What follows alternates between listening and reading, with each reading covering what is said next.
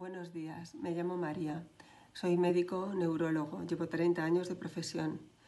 Estas últimas semanas he trabajado en el hospital bajo la presión de la crisis COVID. Lo más duro ha sido comprobar que no teníamos el material necesario.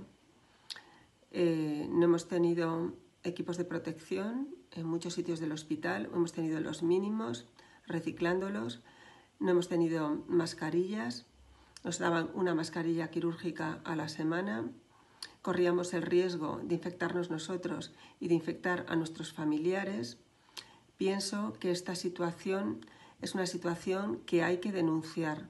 Por eso hago este vídeo para que se haga viral y llegue a mucha gente, para que protestemos de una vez por todas ante la falta de material sanitario real que ha habido en este país. Protesto porque no se nos han proporcionado los equipos de protección, no se nos han proporcionado las mascarillas FP2 necesarias. Protesto porque no se nos ha hecho serologías. Y esto no es solo por nosotros, sino por los pacientes que atendemos y por nuestras propias familias. Han muerto muchos familiares de médicos. Y esto ha sido muy duro. Os ruego que difundáis este vídeo y que se haga y que llegue a muchas personas para que se sepa lo que está ocurriendo, que probablemente lo sabréis.